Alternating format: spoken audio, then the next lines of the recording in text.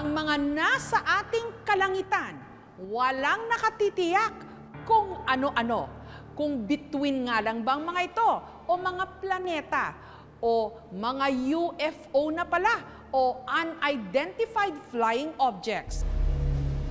Pagkagat ng dilim sa kalangitan ng barangay Palacasur, Pulupandan, Negros Occidental, may misteryosong ilaw na gumagalaw-galaw. Itinimbre ito sa aming Facebook fan page ni Rob. Ang hinala kasi niya, posible raw itong UFO, Unidentified Flying Object. Pero nung humingi kami ng pruweba, wala siyang maipakita. Hindi raw kasi ito kayang makunan ng simpleng cellphone camera. Kaya nag-hire kami ng may professional camera sa Negros at kasama si Rob, nag-abang sila sa paglabas ng misteryosong ilaw. Obserbahan niyo, pre. Maya-maya pa, ito ang nakunan ng kamera. Isang tila maliit na dilaw na ilaw na umaandar papuntang kanan na unti-unti ring nawawala. Yung ibang stills is ano po, parang light lang siya, no? Akala mo polar star, pero nagmo-move siya. Sa unang tingin mukha siyang barko, pero ang ano kasi is nasa taas siya eh. Mas mataas siya sa bundok. Matagal ng kwento-kwento ang tungkol sa mga UFO kahit pa sa ibang mga bansa.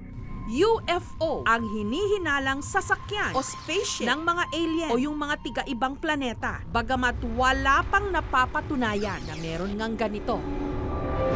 Pero dahil sa mga kuhang ito, nagpasya ang aming team na lumipad pa Negros para mag-imbestiga.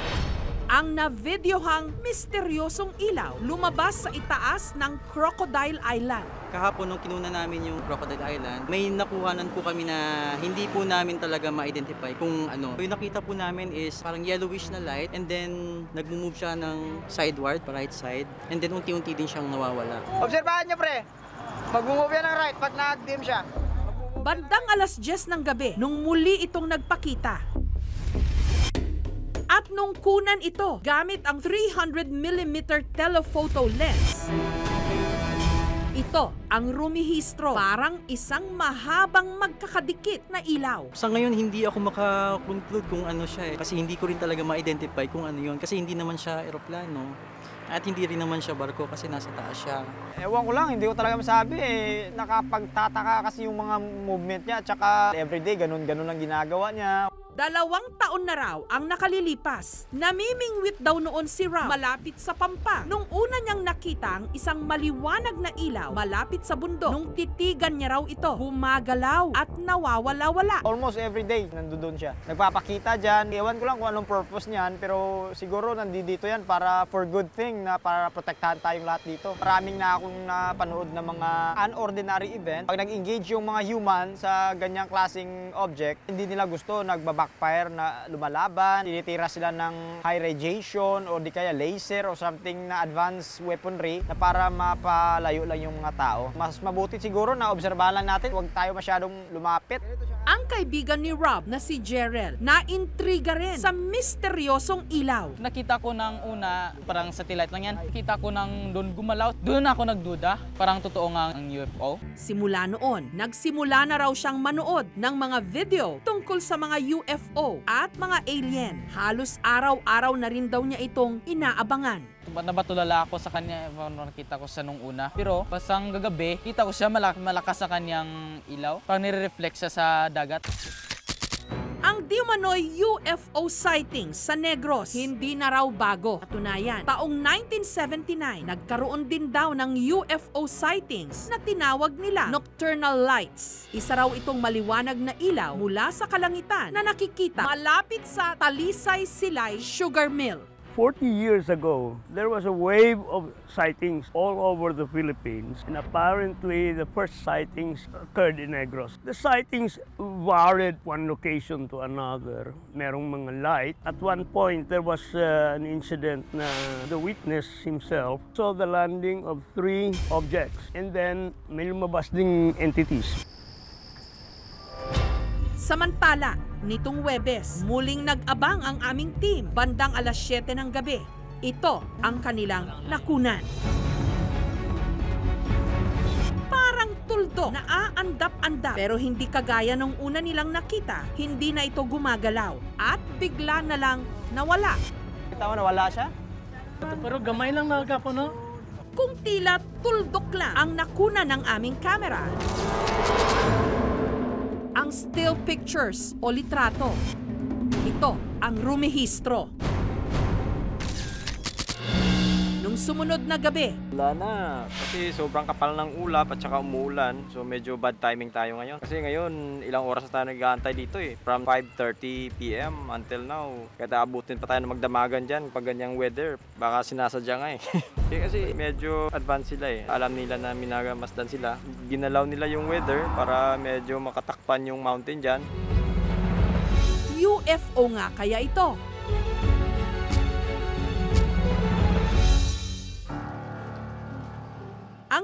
Kabarangay ni Rob, sari-sari ang opinyon. Hindi yan totoo. Kasi parating naman dumadaan dyan. Hindi ako naniwala. Parang city light yun. Pero nung ipinakita na namin ang mga nakunang litrato, Pwede po kuya kasi nasa itaas po siya ng bundok. Parang ang taas niya tapos wala namang ilaw dyan kasi walang mga bahay. Tapos yung mga windmill lang dito naman sa gilid. Hindi po naman natin masasabing star siya kasi bilog na malaki. Ay parang yait po ata tuon. Kasi malaki na bilog. At saka kung light lang ito na ordinaryo, ang laki ng ano eh, ng gimaras. isang misteryosong ilaw ang namamataan kada gabi sa kalangitan ng Negros Occidental. Ang ikinatatakot ng ilang mga residente rito, baka UFO ito. Lalo pat taong 1979, nagkaroon na rin daw ng UFO sightings na tinawag nilang nocturnal lights. Pero napag-alaman namin na sa pag-iimbestiga ng LGU o ng Local Government Unit ng Negros noon ding 1979, napagtantong hindi UFO ang nakita noon kundi yung tinatawag na red flares. Ang mga nakikita kaya ngayong ilaw sa kalangitan pa rin ng Negros, UFO nga ba o sasakyan ng mga alien? Para magkaliwanagan, sumangguni kami sa pag-asa o ang Philippine Atmospheric Geophysical and Astronomical Services Administration ang ahensya ng gobyerno na naatasan noon na magsuri sa mga UFO kung meron mang ganito. O, nang makita ko yung pinadala yung images, makita mo na dumaan talaga siya dun sa may parting Pilipinas. Ayon sa pag-asa, ang nakuna ng aming team hindi bituin Hindi rin siya isang eroplano, hindi rin siya isang bulalakaw. Nakita ko mga images na pinadala sa akin, tsaka yung sa stellarium, base dun sa comparison ko. Yun yung, yung tinatawag natin na ISS, isang satellite. isang satellite. Walang iba kundi ang International Space Station o ISS. Na napakaliwanag. Actually, tinatawag itong uh, the third brightest planets in the sky kapag ka madilim.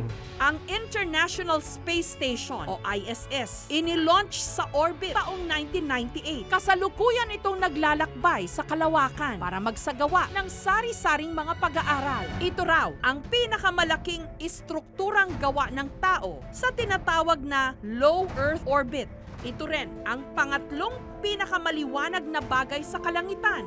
Mas kita o visible nga raw ito sa mga lugar na hindi gaanong mailaw, katulad nga ng probinsya ng Negros Occidental, kung saan saktong dumadaan ang satellite na ito sa pagitan ng alas 6 hanggang alas 7 ng gabi. Bagamat kinumpirma ng pag-asa mismo na satellite ang nakuna ng aming mga kamera, ang nakuna naman daw na litrato noong February 13 mula alas 8 hanggang alas 10 ng gabi. Ito naman iba, no? Noong February 13, alas 8 ng gabi hanggang alas 9, alas 10. Ang makikita mo naman doon ay yung planeta Mars. Kulay pula siya, bilog, at tama-tama doon sa pinakita sa video. Maliit lang siya.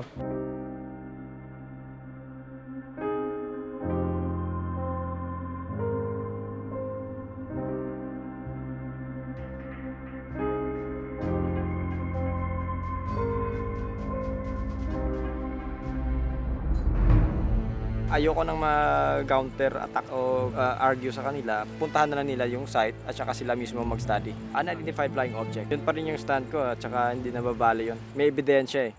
Obserbahan nyo pre, mag-move yan ng right. O hayan, mabuti na magkaliwanagan para maitama ang mga maling hinala at mas maintindihan natin ang mga bagay sa ating kapaligiran hanggang sa ating kalawakan.